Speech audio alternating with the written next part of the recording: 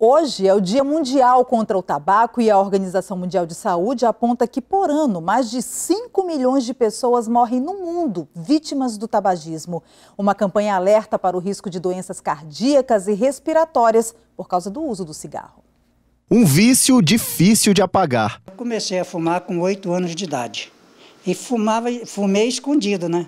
O aposentado só parou de fumar em 1998, depois de vários problemas de saúde. Fui internado desse negócio que eu sofri aqui dentro de casa, um infarto. Eu já fui direto para o Francisco Mendes.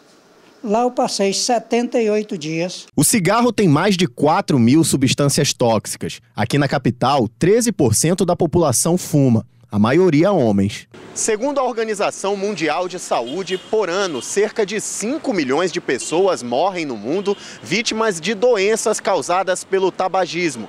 Desse número, quase um milhão são fumantes passivos. Este ano, o tema da campanha mundial sem tabaco chamou a atenção para o risco de doenças cardíacas por conta do uso do cigarro. A principal causa de, de morte no nosso país é a doença cardiovascular, por exemplo. E o cigarro está relacionado a grande parte dessas mortes cardiovasculares. Além das doenças cardiovasculares, o tabagismo está relacionado a vários tipos de câncer, que comprometem principalmente o sistema respiratório. A chance de uma pessoa que fuma desenvolver o câncer é 10 vezes maior que a de um não fumante. Em boca, garganta, pulmão, por incrível que pareça, mas o cigarro ele tem relação com o câncer de mama, com o câncer de colo uterino.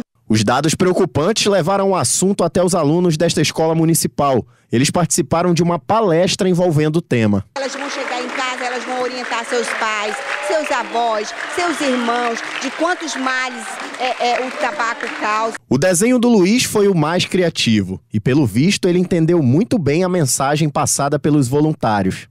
Eu acho que o cigarro é um veneno e quem fuma está se autodestruindo.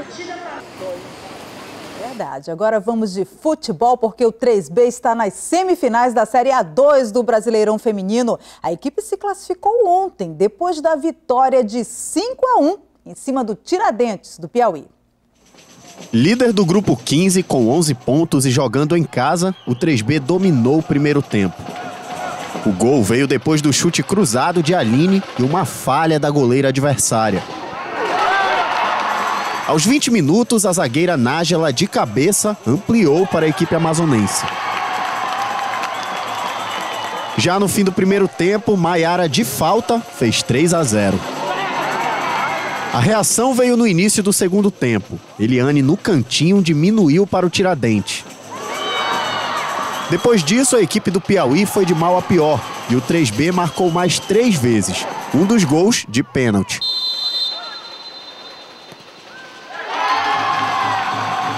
A partida foi válida pela penúltima rodada da primeira fase do Brasileirão Feminino Série A2, que, diferente de outros torneios, não tem oitavas nem quartas de finais. Com o resultado, o 3B foi a 14 pontos e já está classificado para as semifinais da competição. Um projeto do Corpo de Bombeiros tem ajudado crianças autistas a melhorarem o relacionamento com outras crianças e também pessoas de fora, inclusive da família. E olha, tudo isso é feito com cachorros. A fama de melhor amigo do homem é antiga. E não é à toa. Além da lealdade, esses peludos também têm um lado terapeuta e como tem. Por trás desse companheirismo, existe um tratamento alternativo para crianças com deficiência ou transtornos. É a sinoterapia. Há várias pesquisas sobre o assunto que demonstram a melhora dos pacientes, né? Tanto na parte motora, cognitiva, cognitiva, auditiva, entendeu? Assim, então a, a melhoria dela é comprovada cientificamente com esse trabalho.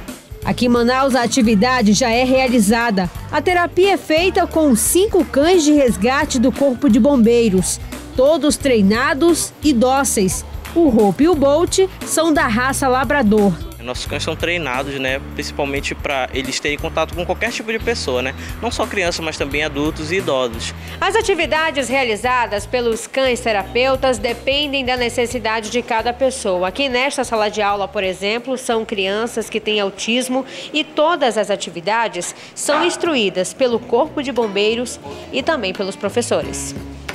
Parece simples, mas para esses meninos e meninas é um grande desafio. Para trabalhar com os alunos é, com uma deficiência, é necessário ter alguma experiência, né? A gente estuda bastante para isso e com o apoio dos bombeiros fica até um pouco mais fácil essa parceria com o nosso conhecimento e com o conhecimento deles, quem sai ganhando sempre é as crianças e a escola também, né? O projeto de cães terapeutas do Corpo de Bombeiros foi lançado mês passado está em teste, mas já tem dado certo. Os encontros acontecem duas vezes por semana nesta Escola Municipal de Educação Especial na zona centro-sul de Manaus. Nossos alunos todos têm deficiência, então nós trabalhamos com deficiência visual, síndrome de Down, é, transtorno do espectro autista, paralisado cerebral. Então, todos esses alunos são atendidos e nós precisamos buscar estratégias de ensino, estratégias para melhorar o aprendizado. A Lívia, de 13 anos, é uma das alunas que dividem carinho com os cães. Ela é prova de que o convívio com animais só trazem benefícios mentais e físicos. Ele gosta de mim, mas quando, mas quando eu não estou perto dele, eu estou longe dele. Aí você sente saudade? Sinto. A mãe de Lívia, dona Josimara, percebeu que o comportamento da filha mudou desde que começou a fazer a terapia com os cães. A minha filha começou desde que começou no projeto, ela melhorou muito, né? Que o diretor vem fazendo esses projetos com essas crianças. Então é muito bom para eles, coordenação motora, para eles interagirem mais com os animais, que tem uns que não têm medo, outros não querem passear. Mas aí vai, vai, vai, os tempos eles vão se adaptando. Uma ótima noite para você e até amanhã.